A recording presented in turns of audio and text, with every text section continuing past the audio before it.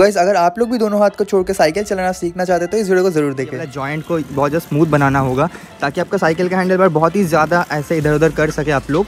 अगर ये जब स्टिफ होगा तो अगर आप लोग हाथ छोड़ेगा तो साइकिल ऑटोमेटिक दाएँ या फिर बाएँ कहीं पर गिर जाएगा। स्पीड से शुरू कर सकते हैं। लाइक जैसे कि बहुत जगह स्पीड पे साइकिल होगा नॉर्मल स्पीड पर भी है। तो ऑटोमेटिकली साइकिल जो खुद को बैलेंस कर लेता है, लेकिन आपको जो बैलेंसिंग तब करना पड़ेगा जब आप लोग साइकिल जो स्लो चलेगा। लेकिन सबसे पहला प्रॉब्लम जो आता है, वो होता है स्लो साइकिलिंग करते हुए हाथ को छोड़ना। तब आपका खुद का बैलेंस का ज़रूरत होता है। जैसे कि पर देख सकते हैं, मैंने इनको ईजिली डॉच कर लिया है। तो आप लोग स्पीड से लेकर धीरे धीरे स्लो होते रहिए और उसके बाद जो आपका बैलेंसिंग अपने आप आ जाएगा। पहले इधर उधर गिर जाएगा साइकिल ऐसा ऐसा होगा।